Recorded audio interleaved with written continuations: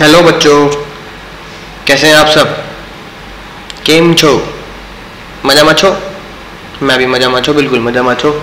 मज़े में ही रहना चाहिए। ठीक है ना?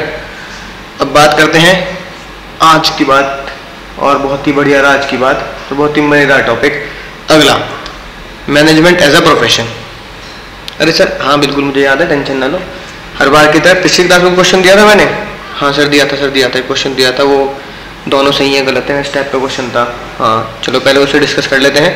अच्छा बताओ, पिछली क्लास में क्या पढ़ा था? पिछली क्लास में पढ़ा था sir management as a science दिल से भी लिख रखा बेचारे ने आई लव साइंस ठीक है? तो उसमें चार प्रिंसिपल प्रिंसिपल कह रहा हूँ करेक्टरिस्टिक क्या तो चलिए। चार करेक्टरिस्टिक निकल के आए, कौन से? P U R E P से बोलना।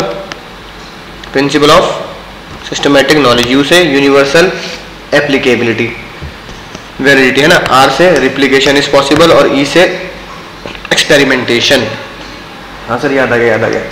राइट तो ये साइंस का कोड था। बीएसपी आर्ट का कोर्स था। अब प्रोफेशन की बात करते हैं आज।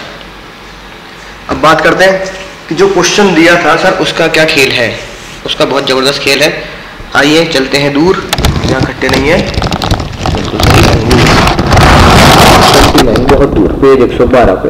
ये वाला क्वेश्चन दिया था ना? Who is right Sachdeva ji right है या मदन जी राइट है?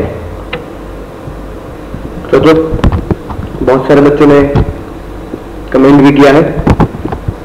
ठीक है? और मुझे बहुत अच्छा लगता है। जब आप कमेंट करते हैं तो मुझे मोटिवेट मोटिवेशन भी मिलता है कि हाँ भाई, बच्चे पढ़ रहे हैं और जवाब भी दे रहे हैं। ठीक है? पर्दा उठाए रात से। चलिए रात से पर्दा उठाते हैं। पर्दे में रहने दो पर्दा न उठाओ पर्दा जो उठ गया तो भेद खुल जाएगा। अल्लाह ये देखिए। आंसर क्या लिखा है? दिख रहा है बोथ आर राइट दोनों ही भैया, दोनों ही सही है। देखो क्यों? मदन जी अगर है Mrs Watson experiencing the aspect of science क्यों she passed MBBS examination and also pass MS masters है ना? एज एन आई स्पेशलिस्ट यानी कि साइंस की किताब की ज़रूरत होती है साइंस एक्सपेरिमेंट तरीके से पढ़ा जाता है। ठीक है ना? मुन्ना भाई देखे, मैं एक्सपेरिमेंट करते है, चीज़ों के ऊपर अपनी बॉडी खुद लिया जाके तो बेचारा अपनी बॉडी लेकर आता हो जाता है मुन्ना भाई हाँ तो बस। सचदेव अभी कह रहे थे आठ। वो भी सही है। After two year completing her studies she join the big hospital as an eye surgeon now she performing successfully since last few years right यानी कि बॉडी नॉलेज इसमें भी होगा एस और पीछे प्रैक्टिस और स्किल्स उनकी स्किल्स सही तो दो साल की स्किल्स और प्रैक्टिस सही तो हुआ। तो दो साल में क्या क्या होगा? प्रैक्टिस में की होगी वही और नहीं नहीं प्रैक्टिस की होगी ना। तो बस, दोनों ही सही है। बहुत ही मज़ेदार क्वेश्चन था। ठीक है चाँद तारे लगाएँगे इसके ऊपर, ताकि रिवीजन के टाइम याद रहे। राइट अब चलते हैं वापस अपने बुक की तरफ़। पेज नंबर 11 पे। आते हैं जी, देखिए, अब बताइए। आज क्या शुरू करना है? आज शुरू करते हैं management as a profession right देर किस बात की? चलिए शुरू करते हैं। Ten ten. अब, पहली बात। फिर से वही कहानी है। एक राजा और एक रानी है। कि प्रोफेशन को जब देखा गया कि मैं, जब ये बोला गया management management is equal to profession तो कई लोगों ने कहा हाँ भाई हाँ। कई लोगों ने कहा, ना भाई, ना। फिर से। कुछ लोगों को इकट्ठा किया गया, कुछ प्रोफेशनल्स को इकट्ठा किया गया और कुछ मैनेजर्स को इकट्ठा किया गया। और उनसे बोला गया, पहले प्रोफेशंस के बारे में देखते हैं, फिर मैनेजर के बारे में देखेंगे कि क्या प्रोफेशन की बातें मैनेजमेंट पे लगती हैं या नहीं लगती हैं। राइट तो प्रोफेशनल लोग आ गए। अब प्रोफेशनल लोग कौन होते हैं, बताओ? प्रोफेशनल लोग होते हैं जो कोई स्पेसिफिक डिग्री लेते हैं अपनी सर्विस देने के लिए। ठीक है ना? इलेवेंथ क्लास की भी बिज़नेस स्टडीज़ इंपॉर्टेंट है, इसलिए वहाँ से सीखी होगी तो बात समझ में आ रही होगी प्रोफेशन जैसे सी ए ठीक है? जैसे हम सी ए स्टूडेंट्स को भी क्लासेस देते हैं तो सी ए बन के क्या बनेंगे? प्रोफेशनल तो होगा, एक डिग्री ली, और फिर आप वो काम कर सकते हैं। Lawyer Jolly L L B कितनी बड़ी बड़ी पिक्चर आई Jolly L L B one और टू प्रोफेशन है। डॉक्टर साहब डॉक्टर साहब, पेट में दर्द हुआ था रात। ठीक है तो डॉक्टर भी क्या है? प्रोफेशन भी हो प्रोफेशन भी हो गए डॉक्टर तो C A doctor lawyer architect ठीक है? कंपनी सेक्रेटरी राइट एक्टिंग करना, ये सब क्या है? प्रोफेशन तो है, यानी स्पेसिफिकली कोई स्किल्स डेवलप की जाती है और फिर आप उसमें एक्सपर्ट हो जाते हैं, फिर दुनिया आपको उसी प्रोफेशन के थ्रू जानती है। और सबसे, अरे नलायको मज़े ले रहे हो, मैं पढ़ा रहा हूँ, पढ़ाना भी तो प्रोफेशन ही है। ठीक है? तो आप मुझे जानते हैं पढ़ाने की वजह से। क्यों? क्योंकि पढ़ाना भी क्या हो गया? एक प्रोफेशन हो गया, नहीं हो गया? अब जैसे मैं भी इन लोगों में आ गया। अब हम सब इकट्ठे हो गए एक तरफ़। और अब जैसे महान मैनेजमेंट के लोग खड़े हो गए एक तरफ़। ठीक है? प्रोफेशनल एक तरफ़, पिछली बार की तरफ़ मैनेजमेंट एक तरफ़। हाँ जी हाँ जी हाँ जी, बताओ बताओ बताओ, क्या हुआ? अब सभी प्रोफेशन ने ये बोला, जब भी हम किसी भी प्रोफेशन की बात करते हैं तो हर एक प्रोफेशन को अपनाने के लिए, चलाने के लिए और काम करने के लिए हमें बेसिक किताबें ज़रूर चाहिए होती हैं। किताबें चाहिए होती हैं? जी हाँ। कैसे भाई? सी ए साहब बोले पर अक्सर सी साहब है हमारे। ठीक है तो पर अक्सर बोले सर मैं सी बना कैसे बना? बताओ पढ़ के तो बना तो पढ़ने के लिए क्या चाहिए मुझे? किताबें चाहिए? ये तो है नहीं कि मैं आईसीआई के पास चला गया हूँ जो सी इंस्टीट्यूट है वहाँ जोड़े के लेकर खड़ा हो गया सर बताओ डिग्री के लिए क्या करना पड़ेगा? बताइए क्या करना पड़ेगा। ऐसे थोड़ी मिल जाएगी डिग्री हाथ जोड़ने से मिलती तो सभी नहीं खड़े हो जाते। तो उन्होंने क्या क्या पढ़ाई करी? राइट सी ए की जैसे आपको अकाउंट्स पढ़ाते हैं, है ना? अकाउंटिंग अकाउंटिंग की इंडिया में जितनी भी हाईएस्ट चीज़ें हैं, वो सब पढ़ चुके हैं। Accounting standard C A final तक की सारी अकाउंट सब पढ़ ली। अक्षय कुमार से पूछो जो एल उसने क्या बोला? सर, मैंने एल एल करी है। एल एल बी कैसे करी होगी? पढ़ा होंगे तभी एग्ज़ाम दिया होगा। डॉक्टर साहब कह रहे डॉक्टर साहब भी कह रहे भैया, हमारे तो पाँच साल लग गए पाँच साल की होती है एमबीबीएस मुन्ना भाई एमबीबीएस तो भैया, उसमें भी आपने देखा ही देखा? जो मुन्ना भाई क्या करता है? एग्ज़ाम दिलवाता है दिलवाता रुस्तम से? तो इसका मतलब पढ़ के बेचारा रुस्तम से पढ़वाता तू पढ़ेगा, ये पढ़ेगा। तो इसका मतलब क्या हर प्रोफेशन को क्या चाहिए? बुक चाहिए। अब जैसे जो लॉयर्स होते हैं या आप सीए करेंगे तो मैं अपनी बुक भी देता हूँ, उन्हें पढ़ाता हूँ। जैसे सीए फाउंडेशन में, है ना, ये मेरी बुक है मर्केंटाइल लॉ नाम से राइट तो सीए फाउंडेशन में बी कॉम में सी फाउंडेशन में कोई बच्चे एल करते हैं तो वो भी आ जाते हैं। मेरे पास कुछ कॉलेजेस जो एल कराते हैं तो मैं वहाँ पढ़ाना चाहता हूँ तो मैं उनको अपने नोट्स देता हूँ ये वाले। है कि नहीं बात? तो ये मर्केंटाइल लॉ यानी कि ये जब काम आता है, जब कोई एलएलबी करता है सीए करता है तो प्रोफेशन में ये लॉ मैं पढ़ाता हूँ। फ़ोटो भी मेरी है सर ठीक है? बचपन की नहीं है, अभी की है। अब देखिए तो उसमें बहुत सारी चीज़ बिज़नेस लॉ राइट ये सारी बातें। देख रहे हैं ना? इस तरह की बुक है हाँ थोड़ी ब्लैक एंड वाइट ही है। पर है भी मज़ेदार। तो ये सारी बातें हम, ठीक है ऑफ़र एंड एक्सेप्टेंस ये सारी बातें हम लॉ पढ़ते हुए सीखते हैं। इसका मतलब जब भी आप लॉ पढ़ेंगे तो लॉ पढ़ते टाइम से आपको क्या करना पड़ेगा? आपको बुक्स का इस्तेमाल करना पड़ेगा। है कि नहीं बात? राइट कुछ सत्संग की बातें भी यहाँ लिख रखी हैं। जीवन में सबसे बड़ी खुशी उस काम को करने में है जिसे लोग कहते हैं, तुम नहीं कर सकते। अगर तुम्हें किसी ने कह दिया ना, कि भाई तुम्हारी बस की नहीं है सौ में से सौ। तो ये ही करना है। मैं इसी चीज़ के पीछे लगा रहूँगा। ठीक है? नींद में भी, ना तुम्हें मैंने। आ आके इस बात को रिमाइंड कराया। कुछ दिनों के बाद तुम कमेंट करोगे, सर, हमारे सपनों में आने लगे हो। आप ये कहते हो, सो रहा है? सौ में से सौ की तैयारी कौन करेगा? सोने से मिल जाएँगे क्या? राइट और अगर तुम्हें सब लोग कह चुके हैं कि सौ में से सौ नहीं आने वाले तो दुनिया में सिर्फ़ दो ही लोग ऐसे हैं जो कहेंगे कि सौ में से सौ आएँगे, पहले आपके मम्मी पापा। कि भैया वो ज़रूर यकीन करते हैं, वो दुनिया में कोई यकीन करे ना करे, आपके पेरेंट्स आपकी मदर आप पे यकीन करती हैं। वो खुद पे यकीन नहीं करेंगे, लेकिन आप पे यकीन करेंगे हाँ आप ला सकते हो। कोई भी ये मम्मी मम्मी ये नहीं बोलेंगे, तू नहीं ला सकता। भैया, आप ला सकते हैं। और दूसरा हूँ मैं। मुझे पूरा यकीन है, आप लेके आएँगे।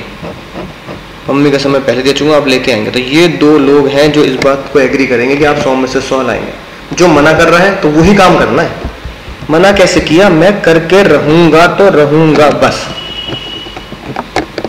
ठीक है? तो माँ बाप की नज़रों में ऊँचे बनिए। उनका मान सम्मान सर आँखों पर रखिए, उन्हें सर आँखों पर रखिए। ठीक है? क्योंकि उन्होंने ही हमेशा तुम्हें अपनी सर आँखों पर रखा है। अपनी ज़रूरतों से आगे तुम्हारी ज़रूरतें पूरी की हैं। ठीक है? दुनिया में अपने नाम के साथ साथ उनका नाम भी रोशन कीजिए। ठीक है, लोग कहें हाँ भाई, उनके बच्चे ने ये महान काम किया है तो करना है और इसे करके ही दम लेना है। सत्संग समाप्त करते हैं। तो ये बताइए, ये लॉ की किताब है कि नहीं है? तो इसका मतलब एल एल बी करेगा कोई बंदा सी ए करेगा कोई बंदा तो उसे मेरी वाली मर्केंटाइल लॉ की बुक तो पढ़नी पड़ेगी ही पड़ेगी। How law to wow law? Wow बिल्कुल, पढ़ने के बाद वाव लॉ कहोगे आप, जैसे आप कहते हो वाव की वैसे ही। ठीक है? और I am very very thankful जो लोग बच्चे कमेंट करते हैं। कि सर आपके पढ़ के बहुत अच्छा लगता है, मज़ा आता है, चीज़ें आसानी से याद भी हो जाती हैं। ठीक है यही शायद मुझे मोटिवेट करता है हर दूसरे दिन वीडियो को बनाने में। अब देखिए तो किताबें चाहिए नहीं चाहिए? तो अभी मैंने बताया किताबें चाहिए चाहिए, दिखा भी दी आपको। क्या मैनेजमेंट के लिए किताबें चाहिए नहीं चाहिए? बिल्कुल चाहिए। राइट दैट मीन्स लॉ के लिए किताबें हैं तो मैनेजमेंट के लिए भी किताबें चाहिए। सर, ये बात तो कुछ ध्यान पड़ी पड़ी सी लग रही कुछ धुंधली धुंधली यादें आ रही है। अब बताओ, आर्ट में किताबें चाहिए थी? साइंस में भी किताबें चाहिए थी? और मैनेजमेंट में भी किताबें चाहिए। That means what that means what this principle या this features of profession is applicable in या प्रेजेंट इन मैनेजमेंट तो क्या लिखेंगे? This feature is present in management ये मैनेजमेंट में प्रेजेंट है। ठीक है? पढ़ लेते हैं एक बार। ठीक है ना? पढ़ के बताया एक बार रीड करना जरा क्या लिखा है? लिखी लिखी वाली बातें।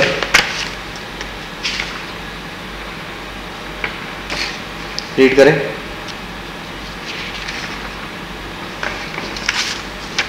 ब्लू पेन से। This knowledge can be acquired at different colleges profession institute similarly management में भी तो कई सारे कॉलेजेस होते हैं। Right some institution have been set up with specific purpose such as IIM IIM में क्या पढ़ाया जाता है मैनेजमेंट को पढ़ाया जाता? है ट्वेल्थ में भी आप ये बुक पढ़ी तो रहे। ठीक है तो हम क्या बोलेंगे? This feature is present in management तीनों में एक बात कॉमन है।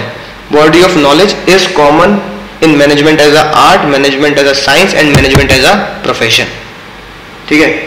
अब अगली बात आती है, जितने भी प्रोफेशन से बात करी डॉक्टर साहब से बात करी लॉयर से बात करी सीए से बात करी तो सबने ये बोला कि एंट्री रेस्ट्रिक्टेड है। यानी कि आप अंदर घुसने के लिए भी आपको थोड़ी मेहनत तो करनी पड़ेगी। डॉक्टर बनना है तो एंट्रेंस एग्ज़ाम देना पड़ेगा। राइट एनईटी का एग्ज़ाम होता है ना, वो देना पड़ेगा। सीए बनना है तो सीए फाउंडेशन का एग्ज़ाम देना पड़ेगा। राइट ठीक है? तो एग्ज़ाम तो देना पड़ेगा। एलएलबी करनी है लॉ करनी है तो क्लैट का एग्ज़ाम देना पड़ता है। तो यानी किसी भी प्रोफेशन में घुसने के लिए, ठीक है ना? आप यूनी में दरवाजे खोला चले गए, किसी प्रोफेशन में घुसने के लिए आपको गेट पे रुकना पड़ेगा और आपको अपने एग्ज़ाम पास की मार्कशीट दिखानी पड़ेगी। तो बोलते हैं रेस्ट्रिक्टेड एंट्री राइट देखिए एग्ज़ाम्पल भी लिखा है। To become chartered accountant India you have to clear a specified examination conducted by institute of chartered accountants of India अब बताओ, क्या ये फीचर प्रेजेंट है या नहीं है? क्या एमबीए करनी ज़रूरी होती है मैनेजमेंट के लिए? आप बोलोगे हाँ sir management M B A I M वाले एम बी ए करा रहे हैं, बहुत लोग एम बी ए करते हैं। और भाइयों और बहनों, ये बिल्कुल गलत जवाब है। बिल्कुल सरासर गलत जवाब। बताओ क्यों? अब मम्मी घर को संभाल रही हैं। तो पहले मम्मी से पूछेगा मम्मी, आप घर को संभाल तो लीजिए, सुबह उठ लिया काम कर लिया डिग्री दिखाना जरा अपनी एम बी ए की। तो चप्पल उड़ती हुई आएगी 200 किलोमीटर प्रति घंटे की रफ्तार से। मम्मी से डिग्री मांग लेंगे। ठीक है? एक बेचारा आपके घर के सोसाइटी के आसपास जो प्रेस वाला जो आपके कपड़े बेचारा प्रेस करता है तो वो तो मैनेजमेंट कर रहा है। सुबह आता है, ले जाता है, फिर दे जाता है। राइट तो उससे पूछ लो भाई, तू इतना मैनेज कर लेता है, डिग्री दिखा एक छोटे से दुकानदार, मोमोज, है ना, बहुत बच्चे खाते हैं। और चटनी तो ऐसे पीते हैं जैसे, पता नहीं मोमोज की चटनी में क्या, मिर्च में क्या स्वाद आ रहा है। ठीक है ना? तो मोमोज की चटनी खाने वाले बच्चे मुस्कुरा रहे हैं। तो वो बेचारा मोमोज वाला भी मैनेजमेंट कर रहा है कि हाँ भाई इस समय आऊँगा, इस समय मेरे कस्टमर आते हैं और इस तरीके से बनाऊँगा और वो खाएँगे। तो उससे पूछ लेगा कि एम बी की डिग्री की और सबसे बेस्ट एग्ज़ाम्पल मैं आपको देता हूँ, धीरू भाई अंबानी। आपको पता है वो टेंथ पास थे बस। और उन्होंने टेंथ पास करके इंडिया की सबसे बड़ी कंपनी बना दी रिलायंस तो रिलायंस को बनाने के लिए। राइट धीरू भाई अंबानी मैं पिछले यहाँ फ़ोटो लगा रखी है। देखा ना ये वाली बात? ये वाली बात बताई क्यों मैंने। ठीक है, गुरु फ़िल्म के ऊपर बेस्ड है रिलायंस को बनाने के लिए इतनी बड़ी कंपनी। ठीक है ना? आज सबके पास रिलायंस जियो का सिम है, बहुत सारे रिलायंस के प्रोडक्ट आते हैं अब तो। तो क्या उन्होंने एम करी कि पहले एमबीए करूँगा, फिर रिलायंस डेवलप करूँगा? नहीं। भाई टैलेंट होना चाहिए। राइट, काबिलियत होनी चाहिए। तो उन्होंने क्या किया? दुनिया के तो दुनिया में वर्कआउट कर रही कंपनी तो दुनिया की one of the top most company बना रही रिलायंस बिना किसी डिग्री के। इसका मतलब मैनेजमेंट करने के लिए मुझे कोई एग्ज़ाम देना पड़ेगा? एमबीए का। और फिर मैं पास आउट होऊँगा फिर डिग्री लेकर करूँगा नहीं, बिल्कुल भी नहीं। यानी धीरू भाई अंबानी इक्वल टू आप ये बोल सकते हैं टेंथ पास यानी कि आजकल के जमाने में टेंथ पास को आप बिल्कुल इलिटरेट ही मानते हैं। आजकल के जमाने में। तो बताओ some kind of a illiterate person made the one of the top most company of the world तो क्या उन्होंने एमबी की डिग्री ले रखी है? नहीं ना। इसका मतलब रेस्ट्रिक्टेड एंट्री प्रोफेशंस में तो होती है। डॉक्टर वगैरह भी एंट्री हमारा तो एग्ज़ाम देना पड़ेगा, लेकिन एमबीए यानी कि हमको एमबीए करने करने की ज़रूरत नहीं है। मैनेजर बनने के लिए कोई एमबीए करने की ज़रूरत नहीं है। आप खुद चीज़ों को बिना पढ़े भी एमबीए बिना एमबीए करे, बिना पढ़े भी आप मैनेज कर सकते हैं। तो क्या ये फीचर प्रेजेंट हुआ? नहीं हुआ। देखो क्या लिखा there is no restriction on any being designated as manager right any one can called a manager irrespective of education and qualification तो क्या बोलेंगे? This feature is not present in management ठीक है? आयु बात बिल्कुल घुटनों तक पहुँच चुकी होगी। सेव रखिएगा वहीं पे इसे। एटलीस्ट मार्च 2020 तक तो। तीसरे करेक्टर की तरफ़ बढ़ते हैं। अब देखिए, तीसरा करेक्टर क्या है? तीसरा करेक्टर बहुत ही मज़ेदार है। प्रोफेशनल एसोसिएशन सर, ये क्या चक्कर है? अब ये चक्कर ये है, जब भी आप सीए करेंगे या सीए बनेंगे तो आईसीएआई आपको मॉनिटर करेगा कुछ कुछ कि भाई ऐसे काम करना है, ऐसी चीज़ें होती हैं, ऐसा करना है, वैसा करना है। राइट मेंबरशिप लेनी पड़ेगी आपको, वहाँ पर रजिस्टर्ड होना पड़ेगा। डॉक्टर बन जाते हैं डॉक्टर क्या होते हैं? ऑल इंडिया मेडिकल एसोसिएशन से, ठीक है रजिस्टर्ड होते हैं। है कि नहीं बात? Right right? जैसे for example lawyers have to become lawyer जो होते हैं वो किसमें रजिस्टर्ड होना पड़ता है? बार काउंसिल में रजिस्टर्ड होना पड़ता है। उनकी ऐसे बार काउंसिल बनाई जाती है। एक तरीके समझ लो कि उनके कुछ लोग हेड्स बना दिए जाते हैं। वहाँ पे उन्हें, उनके पास जाके रजिस्टर्ड होना पड़ता है और उनकी बातों को मानना पड़ता है, उनके नॉर्म्स को मानना पड़ता है। राइट दूसरा एग्ज़ाम्पल क्या लिख सकते हैं? दूसरा एग्ज़ाम्पल आप लिख सकते हो डॉक्टर्स कहाँ रजिस्टर्ड होते हैं? पेन चेंज कर लेते हैं। Doctors have to registered in medical council of India medical council of India में डॉक्टर्स को रजिस्टर्ड होना पड़ता है। बार काउंसिल में अरे ये कहाँ लिख दिया मैंने? ये कोई बात नहीं बड़े बड़े देशों में ऐसी छोटी छोटी बातें होती रहती है सैन्यूरिटा हम्म, ठीक है ना? तो यहाँ लिख, ये यहाँ का एग्ज़ाम्पल है।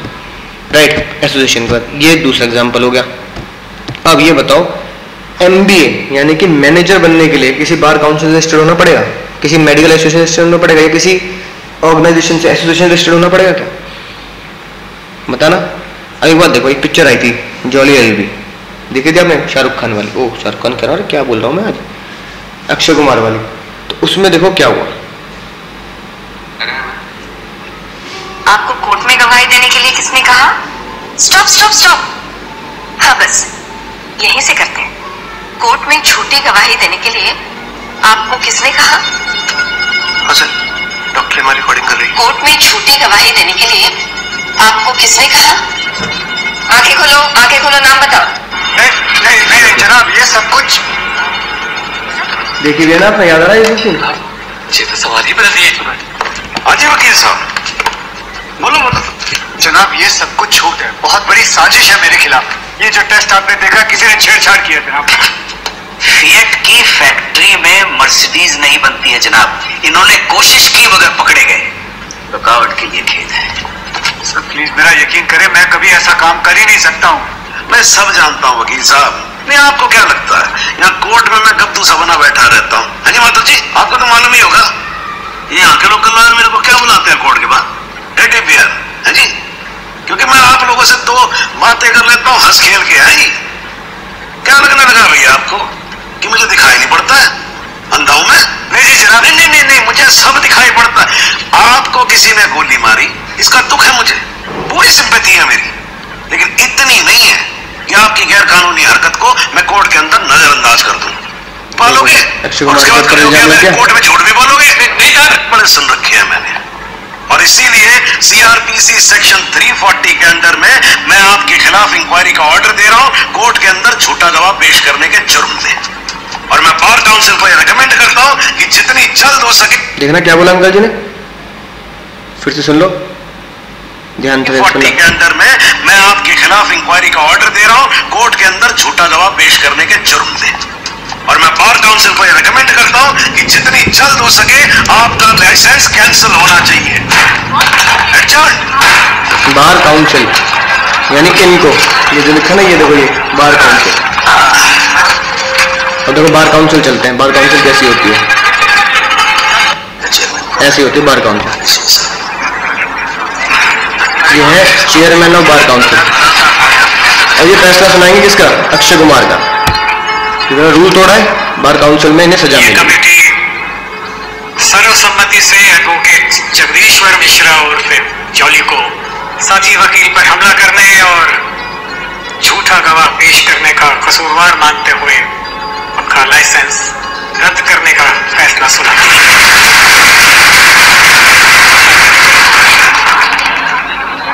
और ये कमेटी एसोसिएशन के रूल्स के मुताबिक अपनी बेगुनाही साबित करने के लिए जॉली को चार दिन की मोहलत भी देती है।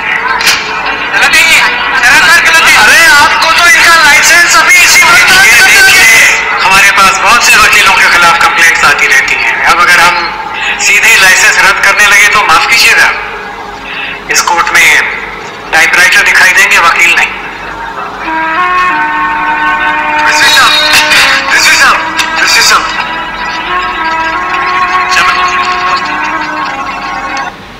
क्या पूरी पिक्चर दिखा दूँ? तो समझ गया बार काउंसिल ये होता है बार काउंसिल का असर। यहाँ पे रजिस्टर्ड है हमारे अक्षय कुमार साहब। अब उनको बार काउंसिल ने भगा दिया कि लाइसेंस आपका कैंसिल करते हैं। तो यहाँ आपको हर प्रोफेशनल को ऐसे ही एसोसिएशन के साथ जुड़ना पड़ता है जो उनके ऊपर कंट्रोल और रूल्स लगाता है। अब मैनेजर बनने के लिए कहीं जुड़ना पड़ेगा क्या? बता ना क्या कहते हैं अंतरात्मा? कि अगर मैं मैनेजर हूँ या कंपनी में बताओ मैनेजर बनने के लिए जब पढ़ाई तक की ज़रूरत नहीं है तो किसी से जुड़ने की ज़रूरत है। हाँ लेकिन करंटली अभी ऐसा हो रहा है कि ए आई एम एक एसोसिएशन बनी है, जिसके साथ आप एसोसिएट हो सकते हैं। लेकिन लेकिन वहाँ पे कंपलसरी नहीं है उनके साथ एसोसिएट होना। राइट नो क्या लिखा है? However no compulsion for manager to be member of such association not does any statutory backing वहाँ कोई ऐसी कानूनी कार्रवाई भी नहीं जैसे अक्षय कुमार के साथ की गई। अब बताओ, सारे प्रोफेशन किसी ना किसी एसोसिएशन के साथ रजिस्टर्ड होते हैं? क्या? क्या इनको भी मैनेजर को भी एसोसिएशन का रजिस्टर्ड होना नहीं होना? तो क्या लिखेंगे? This feature is not present in management right I hope आपको बात समझ में आ गई हुई ठीक है? अब बात करते हैं अगली। चेक करना जरा। क्या लिखा है? Ethical code of conduct right जितने भी जितने भी लोग होते हैं हमारे प्रोफेशंस में, उन सब के साथ कुछ कोड ऑफ़ कंडक्ट जुड़े होते हैं। यानी एथिक्स एथिक्स समझते हो क्या होता है? एथिक्स का मतलब होता है अंतरात्मा की आवाज़ें। आपकी अंतरात्मा आपसे क्या कहती है? ठीक है ना? क्या कह रही है अंतरात्मा? वो। तो जो अंतरात्मा उसे एथिक्स बोलते हैं। उन अंतरात्मा की आवाजों को कुछ बार काउंसिल के लोग या एसोसिएशन के लोग या हमारे प्रोफेशन के लोग लिख देते हैं। अब जैसे फॉर एग्ज़ाम्पल एक एग्जांपल लेते हैं छोटा सा। डॉक्टर की बात चल रही डॉक्टर की बात करते हैं। कि डॉक्टर्स को कसम खिलाई जाती है। मम्मी कसम नहीं, उन्हें कसम खिलाई जाती है, इसे बोलते हैं ओथ है ना? कसम खिलाई जाती है कि वो हमेशा एथिकल प्रैक्टिस करेंगे। एथिकल प्रैक्टिस मतलब कोई बेईमानी नहीं करेंगे। पता लगे डॉक्टर के पास के डॉक्टर ने किडनी बेच दी। होता नहीं होता ऐसा? जैसे पिक्चर नहीं थे अभी एक अंधाधुन। उसमें ये था ना अंधाधुन पिक्चर में, किडनी निकालो और बेचो। ऐसी एथिकल प्रैक्टिस नहीं करें, कसम खिलाई जाती है। अगर ऐसे करते हुए पकड़े गए तो डॉक्टर की डिग्री कैंसिल ठीक है ना? डॉक्टर से बोल बोल पेंसिल तेरी डिग्री कैंसिल बच्चों ने बोलते ना बोल पेंसिल पेंसिल तेरी शादी कैंसिल ऐसी तेरी डिग्री कैंसिल बचपन की यादें ताज़ा हो गई सर ठीक है? तो एथिकल प्रैक्टिस करनी है. डॉक्टर से कहा जाता है, कसम खिलाया जाता है कि भाई, आपको कसम खानी आप हमेशा गरीबों की मदद करेंगे. राइट गरीबों से ज़्यादा पैसे नहीं लेंगे. ठीक है? कोई बेचारा गरीब आएगा तो उसका इलाज इसलिए नहीं करेंगे क्योंकि पैसे देने में कैपेबल नहीं है. तो ये ऐसी एथिकल चीज़ें सिखाई जाती हैं। सी के अंदर सीए में भी, बल्कि सीए फाइनल में तो पढ़ाया जाता है एथिक्स ऑफ़ सी कि सी के क्या एथिक्स हैं। जैसे एक बहुत ही मेन एथिक्स है सी का, कि जितने भी सी हैं, वो कभी भी एड एडवर्टाइजमेंट नहीं करेंगे ऐड नहीं देंगे। कि मैं आपकी इनकम टैक्स की रिटर्न भर दूँगा। ठीक है ना? राइट इतने रुपये में भर दूँगा, इतना अच्छा ऑडिट कर दूँगा, ये कर दूँगा, वो कर दूँगा। इस तरीके से नहीं बताया जाता। एथिकल कोड ऑफ़ कंडक्ट अब ये बताओ, क्या एथिक्स अंतरात्मा के बाद उसूल? जैसे बच्चे नहीं थे अमिताभ बच्चन की, उफ, तुम्हारे उसूल, तुम्हारे आदर्श। बस वही वही तुम्हारे उसूल और तुम्हारे आदर्श। ठीक है ना? वो, क्या मैनेजमेंट में होंगे या नहीं होंगे? सोच समझ के ना बिल्कुल भी नहीं होंगे। ठीक है? ये बढ़िया बात भी लिखी है। ठीक है? मैनेजमेंट में भैया कोई उसूल और कोई आदर्श नहीं होते। राइट डॉक्टर का एग्ज़ाम्पल ये लिखेगा basic purpose of the management to help organisation achieve the stated goal the main एक ही उसूल और एक ही आदर्श है मैनेजमेंट का। एक ही उसूल। भैया, बाप बड़ा ना भैया, सबसे बड़ा रुपया। The only thing is profit maximisation for the business enterprise ठीक है? तो उनके लिए कोई एथिक्स नहीं होते। बाय हुक और क्रुक बिज़नेस को आगे ले जाना है और आगे कैसे ले जाएँगे? प्रॉफिट से ही ले जा सकते हैं। तो भैया प्रॉफिट कमाना है। कैसे भी करो, कुछ भी करो प्रॉफिट कमाओ। समझ रहे ना बात? राइट और आखिरी में आता है अच्छा तो क्या लिखेंगे? दिस फीचर प्रेजेंट और not this feature is also भाई और बहनों, बड़े अफसोस कहना पड़ रहा है? नॉट प्रेजेंट इन मैनेजमेंट और आखिर में सर्विस मोटिव अब देखो, ये बात तो बहुत बिल्कुल सही है और मैं भी मानता हूँ। हर प्रोफेशन को ये सिखाया जाता है कि भैया सेवा सेवा करनी चाहिए। हिंदी में अगर बोलूँ तो भैया एक बात ध्यान रखना, जीवन में सेवा परमो धर्मा।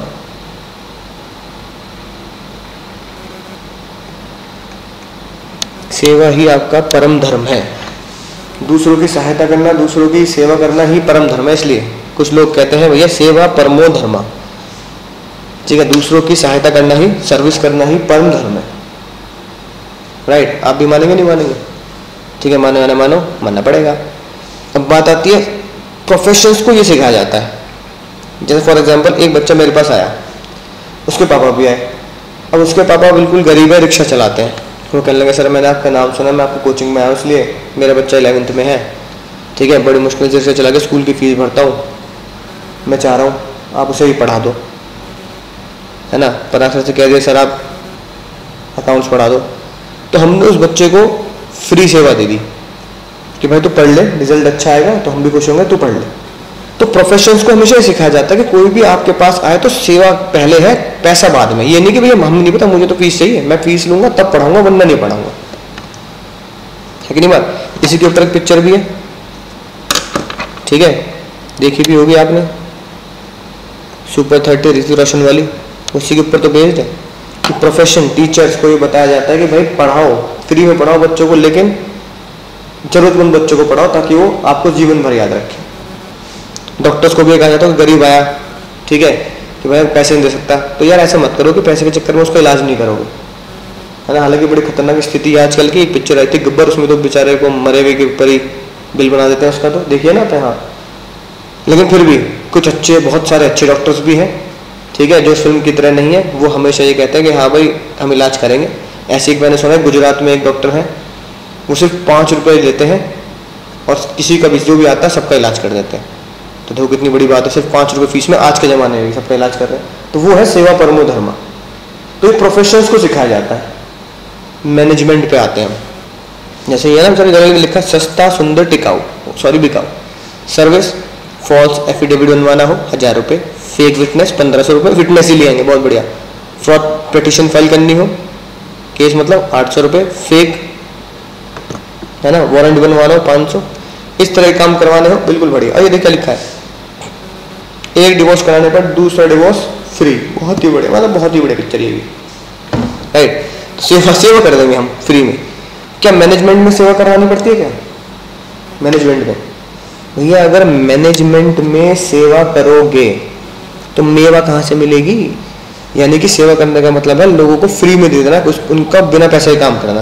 तो अगर मैं बिज़नेस कर रहा हूँ और मैं सामान बेच रहा हूँ तो भैया वो कहावत है ना, घोड़ा अगर घास से दोस्ती करेगा तो खाएगा क्या? समझ गए? तो घोड़ा घास से दोस्ती नहीं कर सकता। यानी कि एक बिजनेसमैन अपने गुड्स को फ्री में नहीं दे सकता। अगर वो फ्री में बांटने लगेगा, भंडारा करने लगेगा तो फिर वो खुद अपनी कॉस्टिंग कैसे निकालेगा और खुद क्या खाएगा, खुद सर्वाइव कैसे करेगा? इसलिए एक ही ऑब्जेक्टिव होता है। कोई सेवा नहीं होती, सिर्फ़ प्रॉफिट कमाना। समझ बात? ठीक है ना? मैनेजमेंट का मोटिव है, सिर्फ़ मैनेजमेंट के ऑब्जेक्टिव प्रॉफिट कमाना। The law the task law is to ensure that justice मिले। ठीक है ना? लेकिन मैनेजमेंट का ऑब्जेक्टिव क्या होता है? सिर्फ़ प्रॉफिट कमाना। तो मैनेजमेंट वालों को सर्विस मोटिव नहीं सिखाया जाता। हाँ आजकल जो मैंने पिछली क्लास में बताया था ना कुछ दो तीन क्लास पहले, आजकल कुछ बिजनेसमैन सी एस आर करने लगे हैं कॉर्पोरेट सोशल रिस्पॉन्सिबिलिटी निभाने लगे हैं। सेवा करने लगे सोसाइटी की डेवलपमेंट ऑफ़ सोसाइटी लेकिन वो भी अपने प्रॉफिट का दो परसेंट ही करते हैं। सारा प्रॉफिट तो सेवा में नहीं दे सकते ना? ठीक है? आजकल ऐसा होने लगा, आप लिख सकते हैं एग्ज़ाम में। ठीक है? नाउ डेज़ फ्यू ऐसे लिखेंगे नाउ डेज़ फ्यू कंपनीज़ या most of the companies doing C S R activity यानी societal development from its business ठीक है? लेकिन 100 परसेंट सेवा आप नहीं कर सकते। मतलब समझ में ठीक है? अब ये बताओ कि ये सारे के सारे फीचर्स कितने बड़े? एक, दो, तीन, चार, पाँच। इसमें से मात्र सिर्फ़ और सिर्फ़ एक ही ऐसा फीचर है जो लगता है बॉडी ऑफ़ नॉलेज बाकी तो कोई लगता नहीं, इसका मतलब मैनेजमेंट का प्रोफेशन हो सकता है? नहीं भैया मैनेजमेंट अगर प्रोफेशन नहीं होता। ठीक है? अब बात करते हैं, याद कैसे करेंगे? मैनेजमेंट एज प्रोफेशन याद कैसे करेंगे? अब होता मैनेज प्रोफेशन कौन होते हैं? प्रोफेशनल्स होते हैं भालू। सर, क्या बोल गए? हाँ भाई हाँ प्रोफेशनल्स होते हैं भालू। ठीक है? तो भालू को इंग्लिश में क्या बोलते हैं? बियर्स समझ गए? जल्दी से नोट कर लेंगे। बी से बॉडी ऑफ़ नॉलेज ई से एथिकल कोड अंतरात्मा की आवाज़ उसूल, आदर्श। ए से एसोसिएशन बार काउंसिल ठीक है? जॉली एल वाला। आर से रेस्ट्रिक्टेड एंट्री आपको एग्ज़ाम देना पड़ेगा। सी ए फाउंडेशन ठीक है? क्लैट एस से सर्विस मोटिव सेवा करना, ये सारे करेक्टरिस्टिक्स हैं। इसमें से नीचे के चार नॉट प्रेजेंट ये वाला प्रेजेंट ठीक है, आई होप बात समझ में आई होगी। तो भाई यार बहनों, आते हैं हम अगले अंतिम पड़ाव पर। हाँ ये कुछ आपको पाँच क्वेश्चंस में दे रहा हूँ। इसको नोट करना है और इन सवालों का जवाब देना है। ठीक है ना? कभी कभी अंतरात्मा में अमिताभ बच्चन साहब आ जाते हैं। ठीक है? ये देखो, ये कुछ क्वेश्चन है। मैनेजमेंट एग्जैक्ट साइंस का जवाब देंगे। Identify the nature of management when it is set to be systematic body of knowledge with which explain general rules ये क्या है? Both science as well art should exist together in management ये बहुत important है ढंग से सोच समझ के जवाब लिख देना इसका। और ये भी बहुत मज़ेदार क्वेश्चन है। गुलगुले हैं, उनका बिज़नेस चलता है। उनका बेटा यूएस जाना चाहता है। वो कह रहे हैं, बेटा यूएस मत जा बिज़नेस ज्वाइन कर ले, क्यों कैसे लगा रहा है मेरे बेकार में? तो क्या उन्हें अपने बेटे को यूएस भेजना चाहिए एमबीए करने के लिए? की स्टडीज़ आपकी ये जो हमारी बुक है, अपनी बुक की हंड्रेड आउट ऑफ़ हंड्रेड वाली बुक की क्वेश्चन नंबर टू होमवर्क है ट्वेंटी फाइव ट्वेंटी नाइन आपको करना है। चलिए इनमें से क्वेश्चन मैं दिखा दूँगा। राइट और एक ये वाला management is regarded as perfect science like physics or chemistry do you agree ठीक है इन सवालों को आप नोट करें फिर से आज जल्दी से गाना सुनते हुए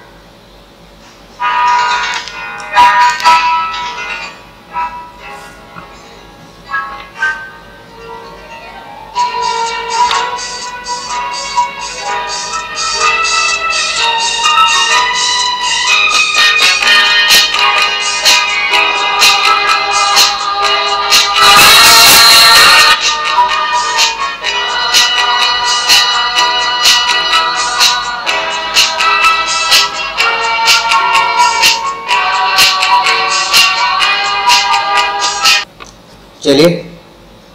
गाना सुन लिया आपने, बढ़िया लगा। है ना? लगता है नोट भी कर लिया होगा आपने। कुछ रह गया हो तो पॉज करके नोट कर लेंगे।